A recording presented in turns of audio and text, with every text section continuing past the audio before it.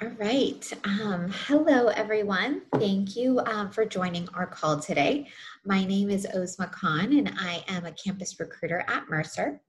Um, today, we are um, going to chat about our career practice, um, and I will be the moderator for the call. A few housekeeping items before we get started.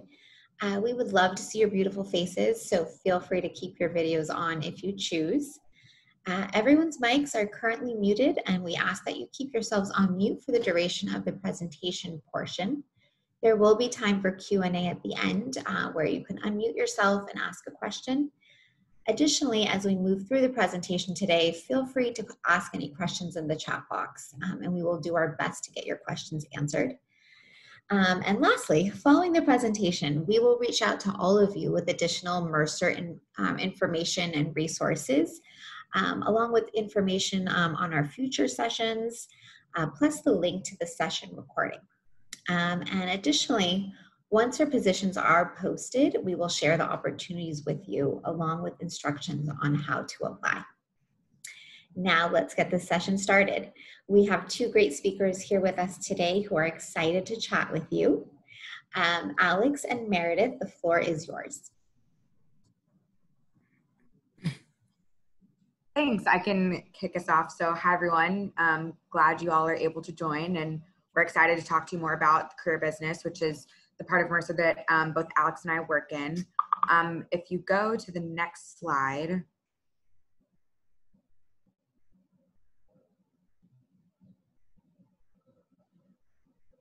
We're pausing for dramatic effect. Um, um, so we'll we have a lot to cover today. I'm sure you will have lots of questions um, coming from all the great content we'll talk about, but we'll start by giving kind of a brief overview about Mercer and career um, and a little bit about ourselves and our career journeys since we've started at Mercer almost four years or around four years ago for both of us. Um, we'll walk you through a couple um, of examples of types of projects that we've done just to give you a little bit of um, flavor for the type of work and what that actually looks like on the ground. Um, and then we'll leave about 20, 25 minutes at the end for Q&A. So if we go to the next slide. I won't spend too much time here because I feel like you've probably had some other sessions that kind of give the overview of Mercer overall. But if we go to the next slide, just to kind of contextualize, um, I guess, our business overall, I'll, why don't we just go to the next slide actually for the sake of time and um, I'm sure you have had this type of overview before. So yeah, in terms of, you know, how career fits into the overall spectrum of services at Mercer. So we're combined of kind of three different what we call lines of business. Um, so health, wealth, career has a nice ring to it. Um, and we kind of fit into this last column called career. So I like to, in layman's terms, say that this is anything really related to your people of an organization, um, providing you know career development, compensation, um, performance, talent management, and all the strategy and change management that goes along with that. Um, again, we'll kind of get into some detailed examples, but um, you know, we do a lot within each line of business as you'll come to learn as you learn more about our company. And I mean, me even being four or five years into the job, you know, I'm still able to do new projects. Like I haven't touched some of the things even on this list in my tenure here. So lots to talk about and lots to cover. And if we go to the next slide, yeah, so we'll start um, this is kind of the fun part where Alex and I will tell you a little bit about ourselves um, and our journeys here at Mercer. Um, so I'll start. So um, I grew up in Tex- Houston, Texas, um, but I'm currently in New York. But most people that meet me cannot believe that I'm from the South. Um, and then I went to Emory University in Atlanta, Georgia and I was in their um, business school there. So I studied consulting and marketing in the business school. And like I said, that was in Atlanta. So, um, you know, back in the day where campus recruiting and being in person was um, the usual or the norm, you know, I was able to get an internship at Mercer in our Atlanta office. Um, so I spent my junior summer there working in career the entire time.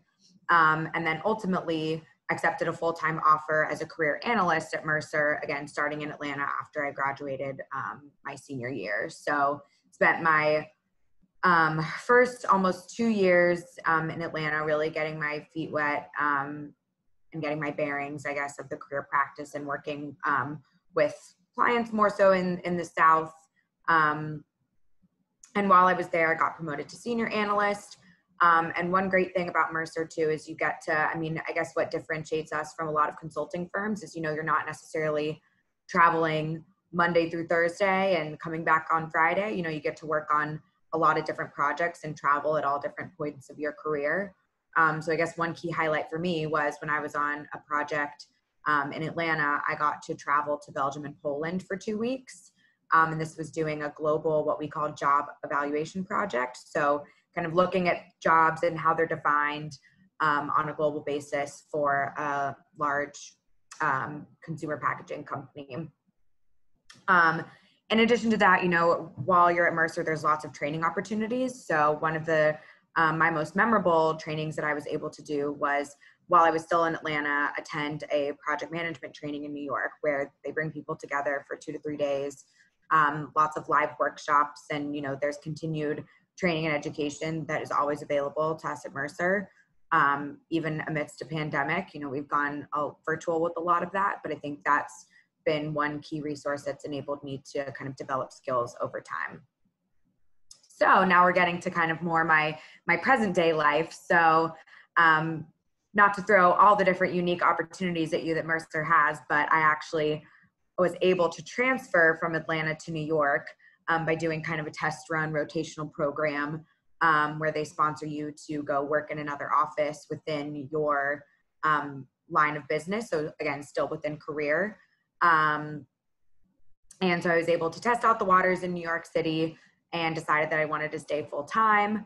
Um, I've been working in the New York office for about two years now, working on a variety of projects. Um, and while I was here, I have gotten promoted to associate. And you know, now I think we're um, and Alex and I are both similar in the sense, you know, working on larger scale projects that um, while I didn't spend too much time on all the different parts of career, you know, now we're at a point in our career where we're able to not just do one piece of that puzzle, but kind of see how it all connects together and really be that um, overarching project manager for types of projects um, and, and, being able to support additional resources on the ground that that help bring those to life. Um, I, will finish my spiel with just some fun facts too. Um, in addition to kind of all the things I do within Mercer, um, and this is still somewhat within Mercer, I lead our um, Rising Professionals Network in New York. Um, and so this is one of many business resource groups that we have that focuses on um, young professional um, development and networking opportunities. So we plan um, lots of events for the New York office, and most recently have been figuring out how to bring different offices together amidst the pandemic to kind of be able to network and maintain that um, sense of community that we have here at Mercer. Um, other fun things I like to do on the side I have my own Foodstagram and I'm an avid um, cycler, not like cycling like road biking, but like actually getting on, on the bike and, um, you know, for getting specific soul cycle here.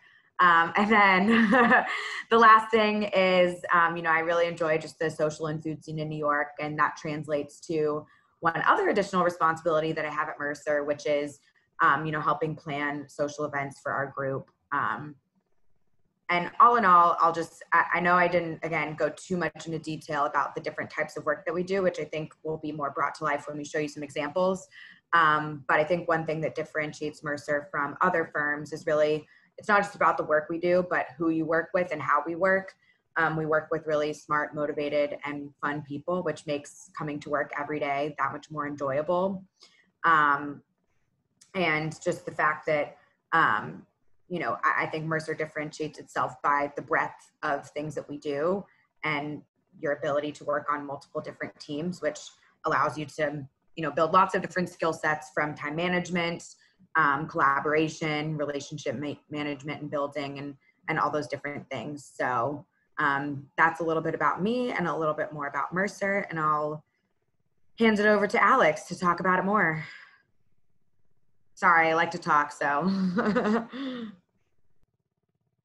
So before we do that, I'm going to switch. Um, we have funky fonts, so I, I'm going to switch and start sharing my screen so that their presentation looks like how they put it together. Thank you for doing that. Yep. There we go. That looks much better. yeah. there you go. There you go.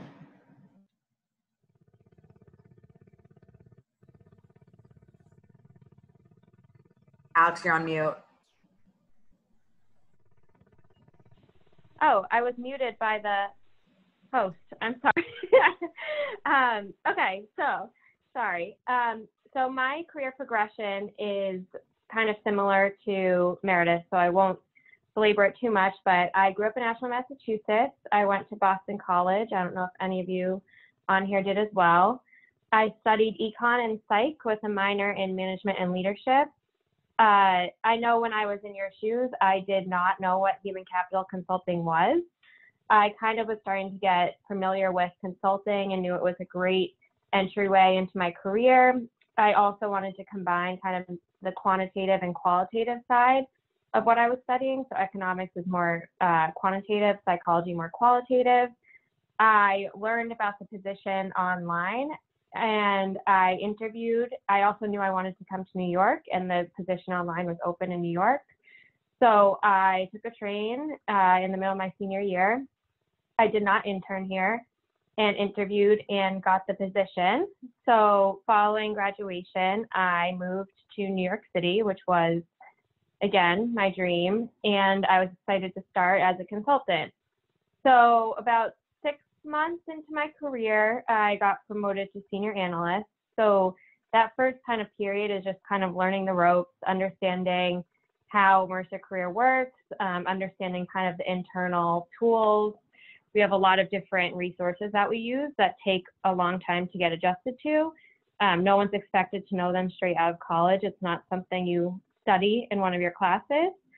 Um, once I was promoted, I kind of continued to get experience in a breadth of projects, so including exec comp, broad-based rewards, job architecture. You're really encouraged when you start your career uh, to try and volunteer yourself for as many different types of projects as possible because you don't really know what you'll enjoy or be good at. And so it's also kind of paving your own career within the career business.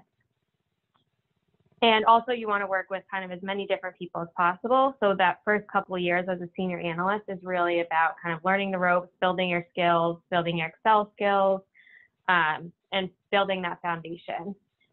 So along the way, I made strong friendships, which was not something I was expecting out of a job. And I was pleasantly, more than pleasantly surprised. I don't even know how you describe it at how friendly and similar I felt like my colleagues were, but also uh, different and I could learn from them. So I built strong friendships, and you can see there, Meredith is there, and that's one of our other colleagues, Andre, in the middle. Um, and then I was on my first long-term on-site client project, which Meredith was also on as well. So that was kind of cool because it was a lot of hands-on client experience. So it was the first time where I was truly interacting with, you know, uh, chief level exec- executives in this company, which was really cool and really, a, I feel like a growth period for me to be able to kind of share my expertise as a consultant with uh, these individuals in the organization, and they really look to us for insights, which was I looking back for someone kind of one to two years out of college, I think that's a really unique opportunity, and I'm very grateful for that.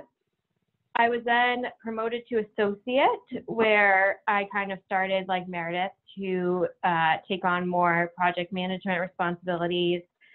And I also got more involved with other aspects of Mercer, so more um, recruiting, internship program. I was the intern uh, manager uh, for the past couple summers, and really kind of promoting Mercer because I really do enjoy it so much and want to share our experience with as many people as possible and get really top talent in. Uh, so, like Meredith, now working on larger scale projects and really doing that more project management role, which will help uh, and be expected at the senior associate level when that um, time comes. Um, interests, I won't go through them all, but pretty um, travel. Hopefully, 2021 there will be more of that. Um, exercise, food, um, career insights. Don't be afraid to make mistakes or ask for help. Um, you know, I think in school, especially, it's easy. It's like there's a right or wrong answer, and no matter where you go in the workforce, you're going to really, or at least I hope you will challenge yourself because um, there really is so much more room to grow once you graduate college in your career. And time management is huge in any consulting role. Um, especially at Mercer, we balance a couple different projects at a time, which is different than other consulting firms where you're kind of on one project at once. So it's a skill that you build in college and definitely continue to build at Mercer. Communication skills is key in consulting roles to really communicate your findings, communicate any questions you have with the client, as well as communicate internally with your project manager. And flexibility kind of relates to time management as well as analytical skills, um, which I, I know Excel is becoming popular no matter what career you take, uh, but it's not necessarily taught in depth at in college, so it's just a great skill to have. And we can move on um, to talking more about career in general. So this is kind of the broad spectrum of services that fall under the career bucket. I know it's a lot to kind of take in. So um, technically in career, you can be exposed to any of these uh, kind of little bubbles and silos that you wish. And they really push you to raise your hand and get involved in what interests you. So for myself, at least, I've done a lot of employee rewards, which is in the green bucket. I've also done exec rewards. I would like to try and get more involved in HR transformation and workforce architecture. Job architecture is a big piece now that's coming into play. Um, we'll touch on these more in the case studies, what they are, but this just kind of shows how many different areas there are that you can get involved in within career itself. And then there's also this communications piece. So how you communicate uh, kind of organizational changes within the organization, that relates to change management, and they're all kind of related. So oftentimes your project may include multiple of these. So a job architecture could be combined with an employee reward. So it's really great to have a broad skill set. Uh, moving on to the next one. This will all make more sense once we kind of go through case studies. This is just a kind of broad overview. So Okay. So human capital. So when clients come to us, it could be a, for a variety of reasons, and these are just some of them. Uh, so for example, uh, let's look at which one do we want to do?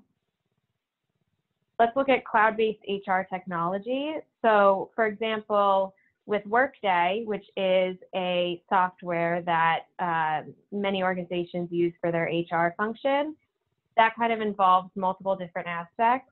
So you want to be able to organize your workforce appropriately uh, within the system. So that can involve kind of leveling your organization, leveling employees, creating career journeys for them so they can really see how they can progress in their career, as well as linking it to compensation. So kind of creating ranges for how an employee is expected to be paid based on market data. Another reason um, organizations may come to us is for advising the board on executive compensation. So, for example, exec comp um, goes through a compensation committee board, and they'll really look to us as strategic advisors as to what uh, different levers the organization could use to promote growth and um, help the executive succeed. Um, other ones would be um, leveraging data and analytics. So our workforce analytics group, this is really interesting. This they look at um, kind of how individuals are paid um, in different segments of the population. So ensuring that there is equality in pay um, between uh, different segments and everything is aligned. We can keep going.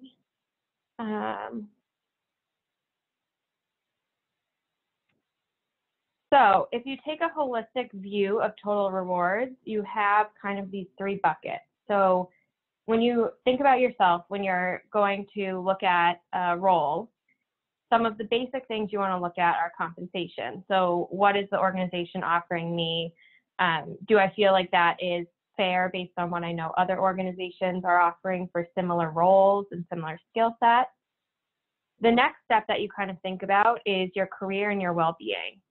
So, we can work with organizations to kind of lay out a roadmap and lay out experiences and competencies so that employees have feel like they are in control of their career. So that type of work is much more qualitative. So it's kind of leveling, um, laying out the different skills that people need, um, different experiences that they may have that would signify a promotion into the next level. And then you think of the purpose, which is emotional.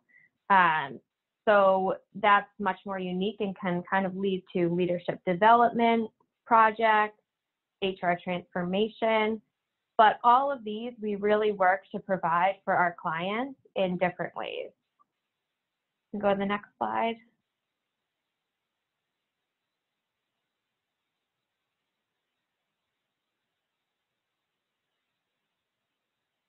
And here's kind of the people strategy roadmap. So one of the first steps we take, uh, and this is specifically for communication and, and change, but it's also kind of how we approach projects. So we want to identify the business strategy and make our um, our solutions really specific to the organization and what they're trying to accomplish with their projects.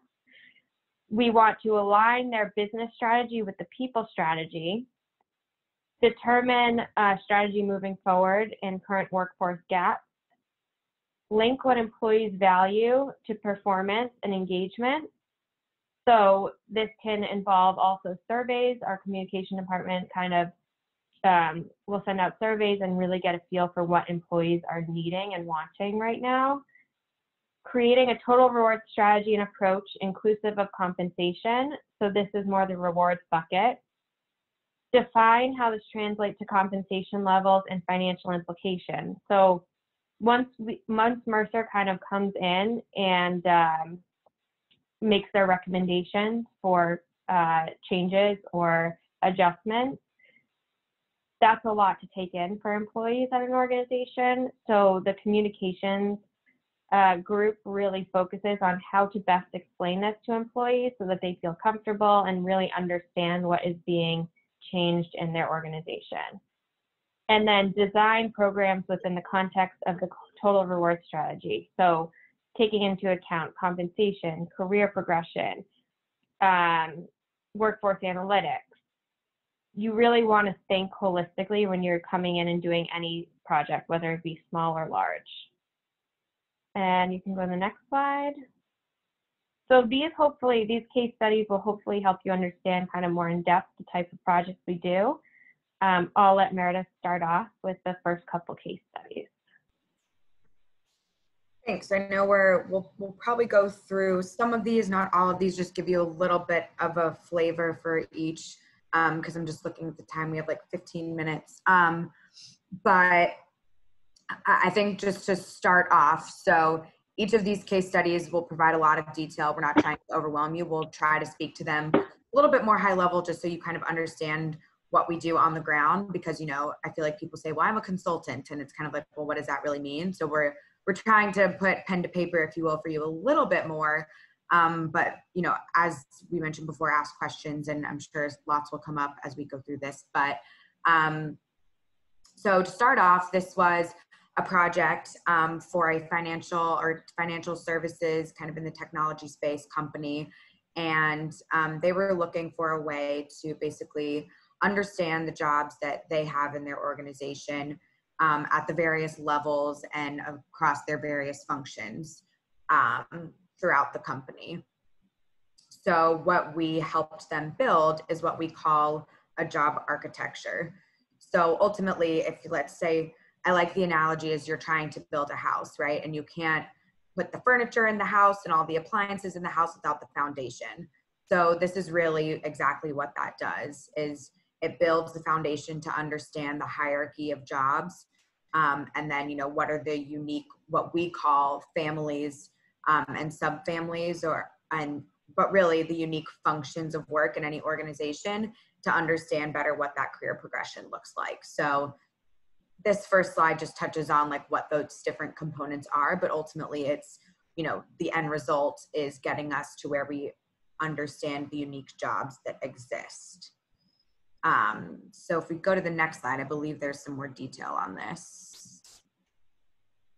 Yeah so um, the, the great thing too about doing this prod these types of projects in any type of project is while you might say you know i do a lot of x type of work every client it looks a little bit different. So you know you might start with a mercer methodology or a framework but it really gets adapted based on what we learn about our clients on the ground.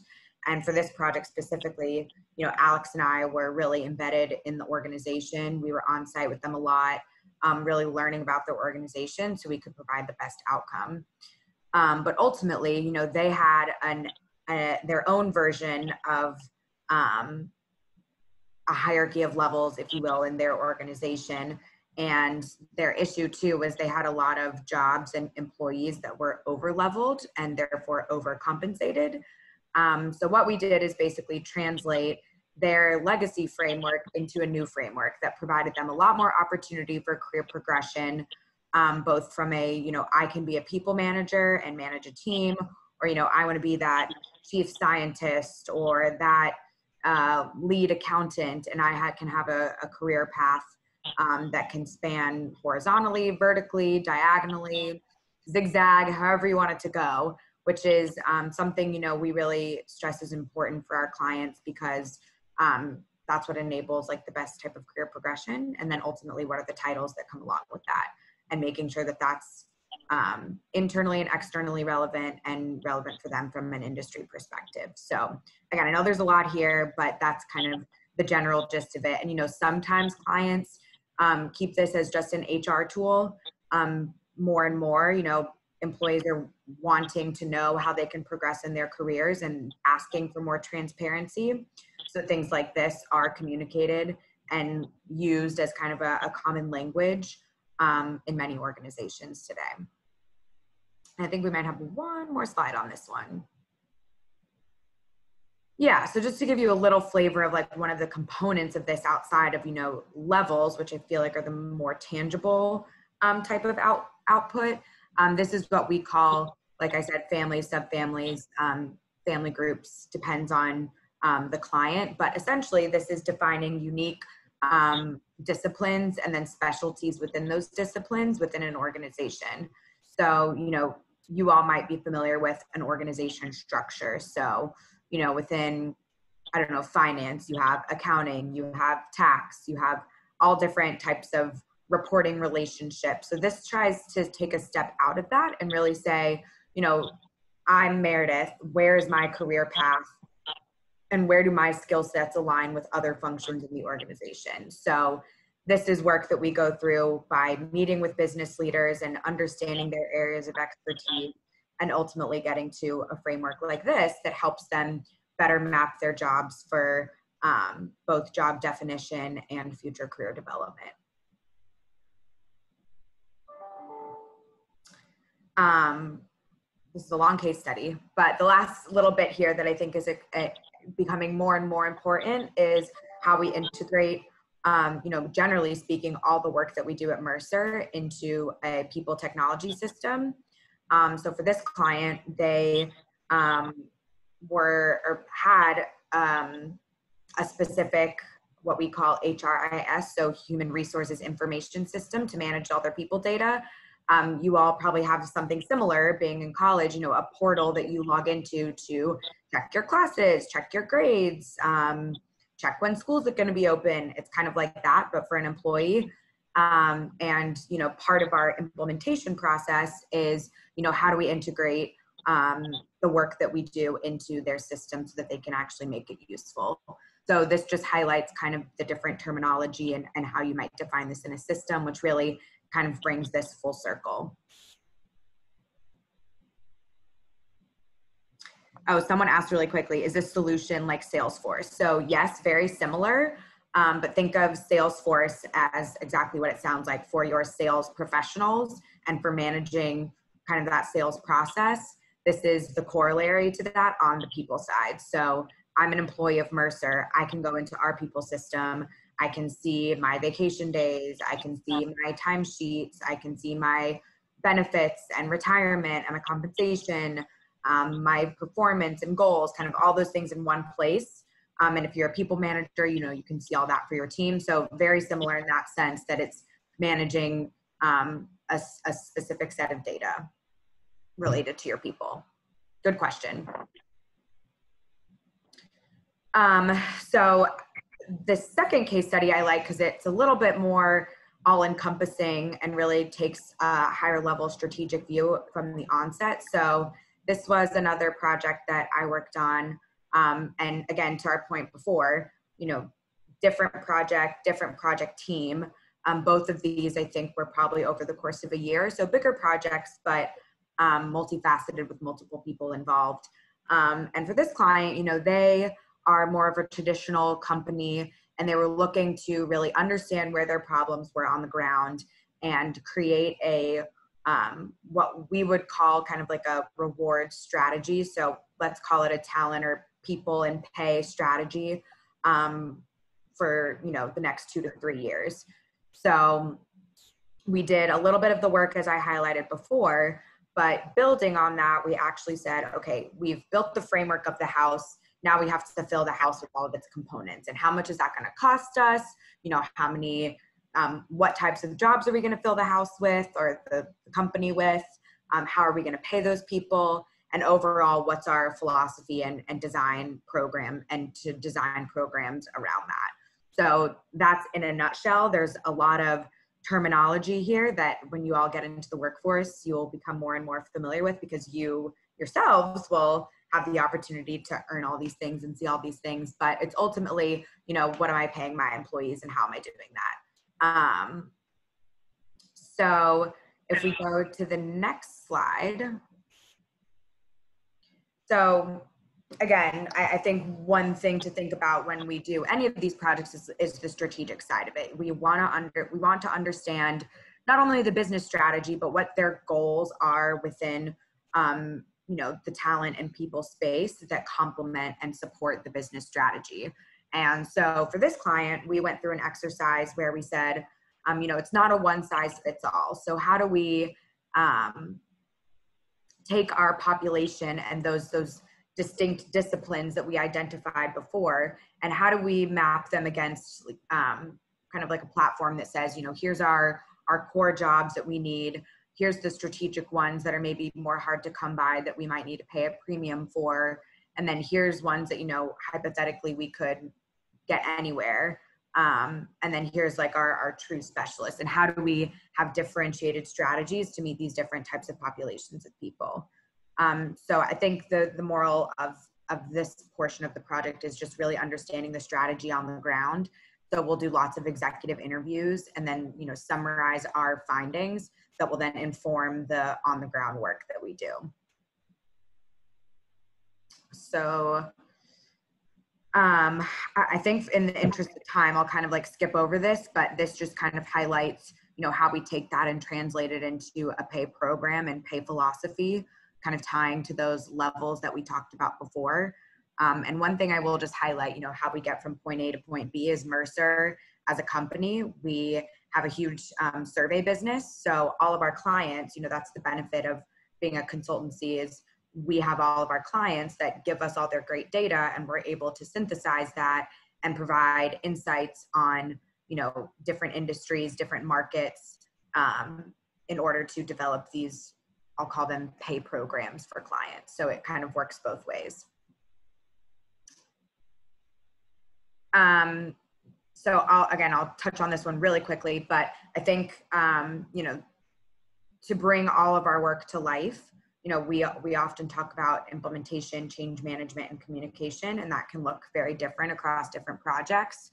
Um, but ultimately, you know, our, our largest and most successful projects are probably where change management communication is embedded into the work from the beginning, where we'll build out a communication strategy um, to, you know, understand where the pain points are, what different populations need to know and why, you know what types of cultural changes might this um, have?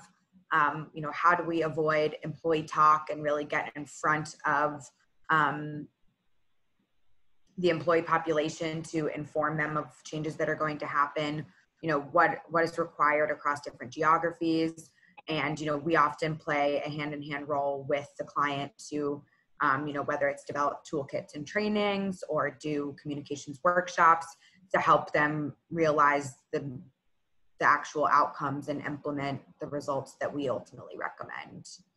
So that kind of brings it all home. And then I know we'll, I'll pass it off to Alex. She'll spend a few more minutes talking about some other great work that we do. Okay. So one, if we go to- I think. Yeah, go to case study four. Yep. Okay. So one of the big pieces, um, and especially in the New York office, so it's definitely not all of it, is executive rewards, and this is kind of its own silo. Um, so this kind of gives an overview of the different things that we take into consideration when proposing solutions for our clients. And often executive rewards clients are reoccurring, so they kind of happen cyclically um, and you kind of keep the same client year over year. So uh, I guess if we look to the right, that no one size fits all solution kind of gives you a good highlight. So peers in industry, you, especially for executives, your peer group really plays a large role in how you pay employees. So looking at the size of the organization, their revenue scope, um, uh, what industry they're in, kind of whether they're in retail or whether they're um, a professional services company. Then you also look at more economic factors, so the economic run rate, the total share usage and plan capacity. Those kind of involve a lot of modeling. So if you're very much so into numbers uh, in Excel, this is this may be very interesting to you. Uh, shareholder and proxy advisor guidelines, critical task talent, employee engagement. So those are more soft goals, but definitely need to be included when you think about um, uh, incentives for executives.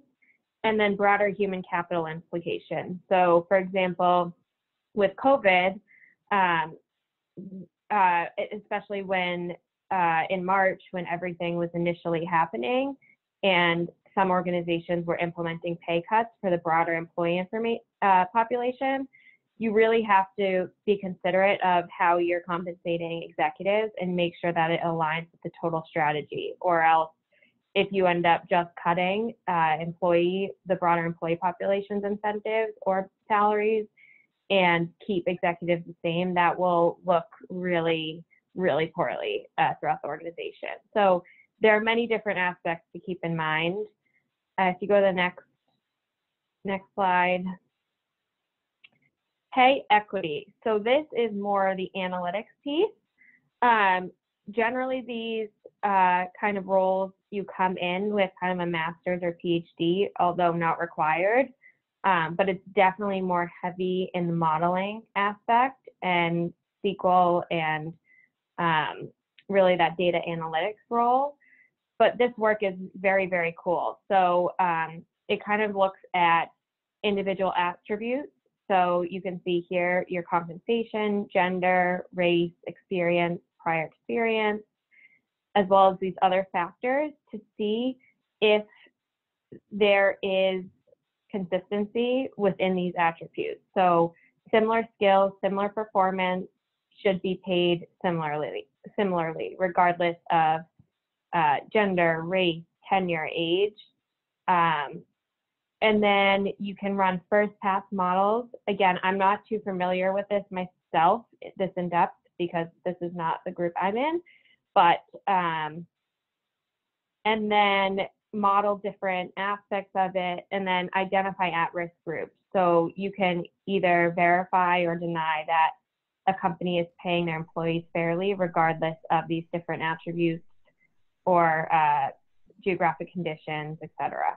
And one thing I'll just mention here, because I'm actually doing a project like this right now, it's becoming, this is an area that's growing for us right now because of, um, I guess, the current um, economic, political, um, social climate in the US. So imagine like all the clients that are coming to us about diversity and inclusion and, and from pay equity perspective, how you pay people fairly against not just the market, but internally is becoming more and more important. And we're seeing a lot more of that type of work. Yep. Uh, and then if we go on to the next slide. And last but not least, actually Meredith may want to touch on this because I think she's done a little bit more of this. Do you want to talk about this one? Yeah, sure. Um, so um, I like this example because it's a little bit more qualitative in nature. I will say, you know, as a um, analyst or you know entry role um, on the team, you know, we do a lot of data analytics and Excel type work, but there's kind of both sides of the coin between change management communication and this type of work, which is um, we do a lot of leadership development and succession planning. Um, so this is really um, looking at the leadership life cycle, if you will. So all the way from helping them define strategy and and what is needed to have a successful leader. So you know what are the skill sets required in defining that model, or you know how is that different from the rest of our population in terms of evaluating performance and identifying what true success of leaders, both CEO and management and boards, what that looks like, and then really cool is we have really cool tools that help us actually assess leaders. So I'm sure if you went home and asked your parents and said, you know, oh, have you ever had executive coaching or taken any kind of like professional assessment? Um, you know, perhaps some of them would say yes.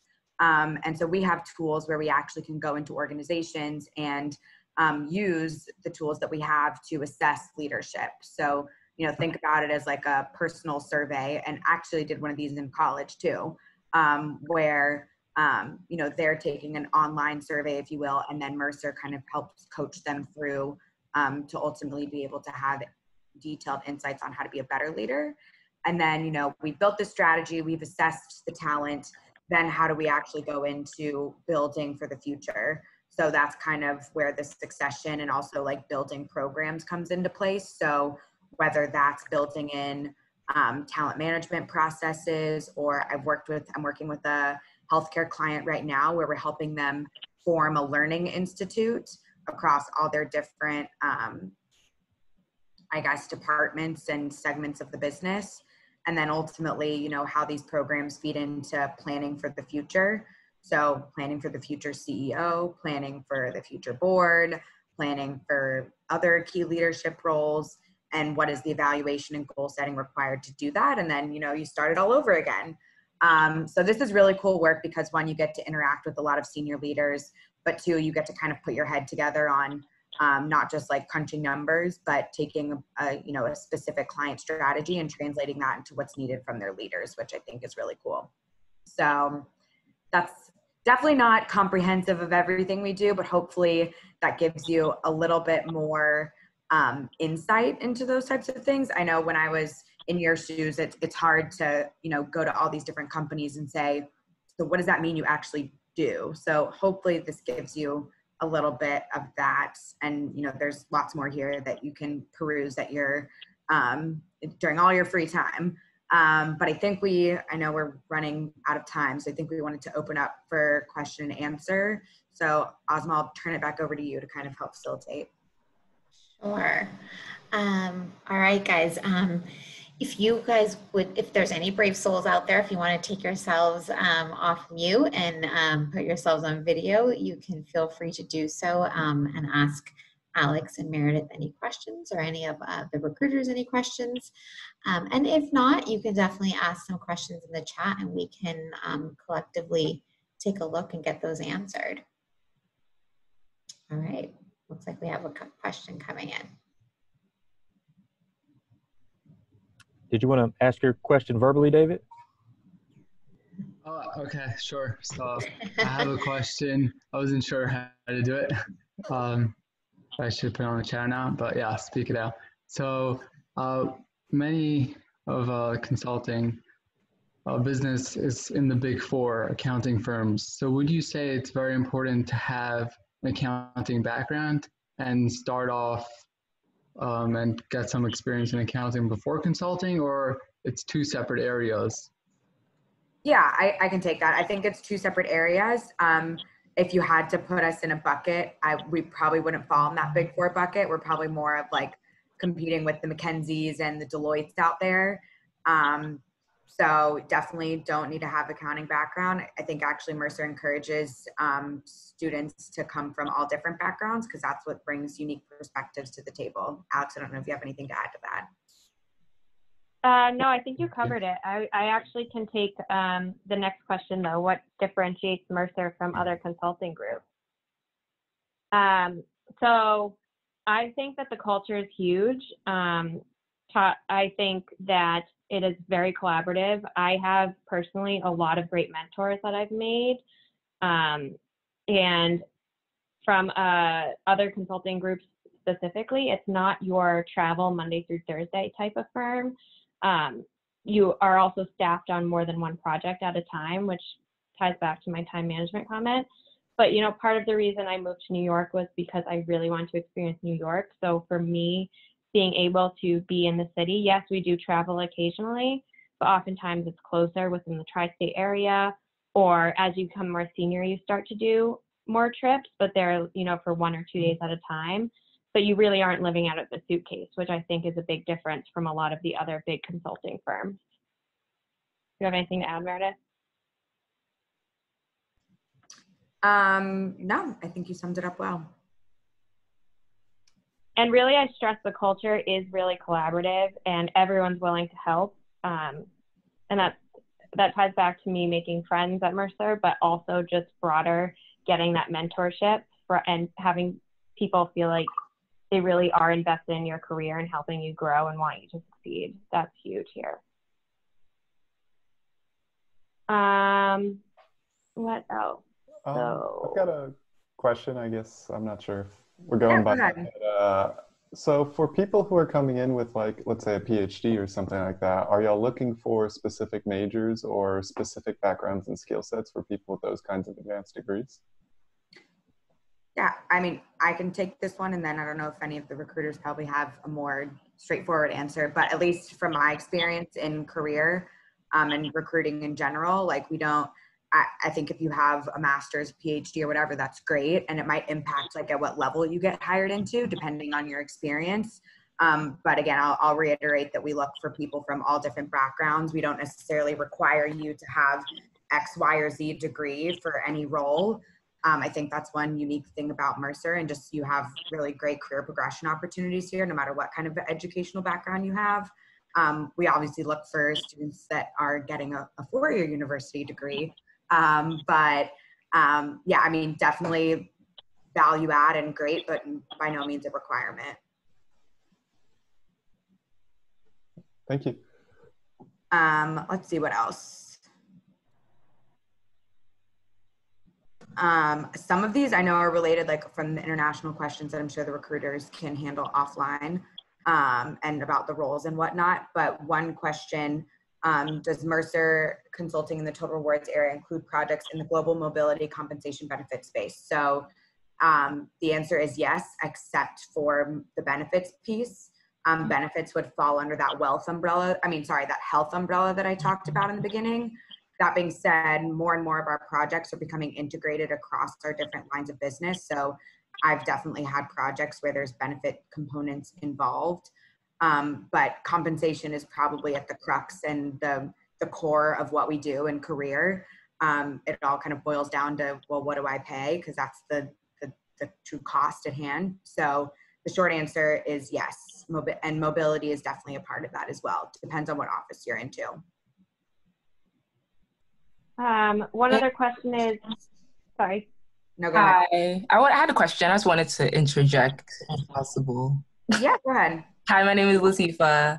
I wanted to know Does Mercer offer relocation assistance? And could you talk a little bit more about your EAPs and what type of benefits you all offer? Um, hi, I can take that. We do not offer any specific relocation um, benefits. We do offer for our new hires, um, you know, a small amount of sign-on bonus, which is meant to be kind of like a catch-all uh, bonus that could um, a new hire could use it for their relocation costs or um, any other costs that they have associated with starting a new uh, a new career. And then Latifa, sorry, apologies. What was the second part of your question? I wanted to get more information about your um, employee assistance programs, what type of things you all offer as far as that mental health support and things like that. Yeah, definitely. Um, fo uh, following the presentation, we'll be sending out some more resources um, and we'll make sure to include some information on that. You guys can take a look. Um, there's probably some, some plenty information out there so we can um, cascade that down to you guys and you guys can review. One thing I wanted to add, one thing I want to add just in terms of relocation, we, Ozma addressed the uh, new hire, the full-time new hires we do offer us a housing stipend though too for interns if you're if you're working more than 50 miles from your permanent home location. So that's something that we do offer for interns as well. Mm-hmm. Thank you. I'll go next. Um, so I was curious for the associate role. I know you can go into it from an MBA. Um, what's kind of the experience that you're looking for for the associate role if we were coming maybe straight from an MBA? And also, um, in regards to the associate role, how does the collaboration and teamwork look like when you're working on these different projects? Alex, do you want to take that one? So you're saying how are the projects structured in terms of the team internally? Yes. Okay, so it kind of can vary based on each project. Generally, there will be a partner that kind of oversees the overall strategy and project execution.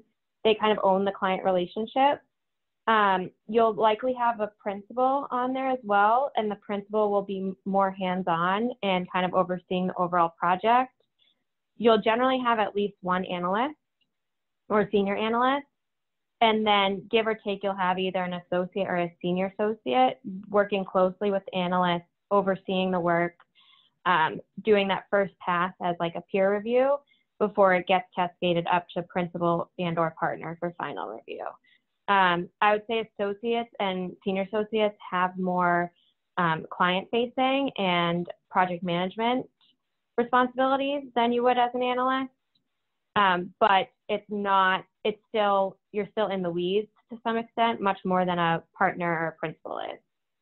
But you kind of have your teams are usually at least three people. So mixed partner, principal, analyst, associate, or senior associate. Good question. That makes sense. Thanks for um, the clarification. Um, what else? This is really overwhelming. Um, I'm a lot of great questions. Um, so how long does it take to become a senior consultant? If you're talking about senior analysts, um, usually six months to a year, but it's all uh, depending on your performance and your experience level and the projects you take on. Uh, what else? Um, time management.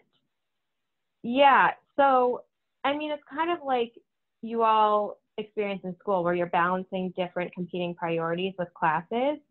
Uh, sometimes you'll be balancing different clients at one time, and you really are kind of subject. We although we give um, requested time to receive data from clients or um, there is some leeway into when you can give deliverables to clients um, you may be thrown something last minute and you kind of have to balance okay can i wait one day on this project if it means that i can deliver for this other client or what's the right balance and how do i really manage my time between clients? And that is really important to communicate to your project manager. So the principal, the senior associate, the partner on the project. So they really have a good idea of timing that they can expect to get it um, for at least the first review. Uh, um, I can take Yeah. I can take one too. Um, I'll, I'll actually answer the one about innovation because I, I like that question. Um, because I mean, again, Alex and I haven't been at Mercer for ages, but even in our time here, I think we've seen Mercer grow and adapt in a lot of different ways. Um, so to mention a couple things, I, I already touched on this before, but I think even in the past like six months, I can say confidently that Mercer has probably historically been because we have so many niche areas. I'll say a little bit more siloed in the way we work, but we've really in the past couple years started to bridge those gaps and come together and really have innovative methodologies and practices that enable us to find the links and efficiencies between all the different types of work that we do, which ultimately creates more value for our clients.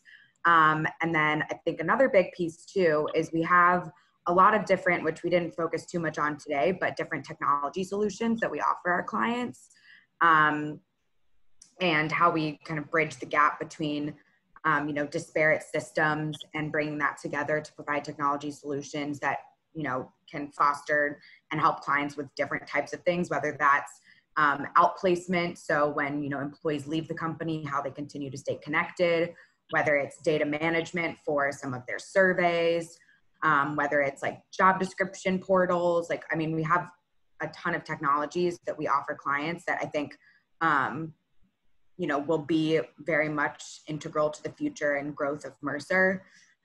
Um, and then actually we do have an internal like innovation group. So i think this is really cool too. So uh, we're in the new york office but in new jersey we have an innovation hub. So we bring clients out there and it's this like cool space with all these different whiteboards. And we bring clients out there to basically do design thinking sessions. And that's kind of our incubator for the next and the latest and greatest if you will so we might devise methodologies or different programs or offerings that come out of that innovation hub.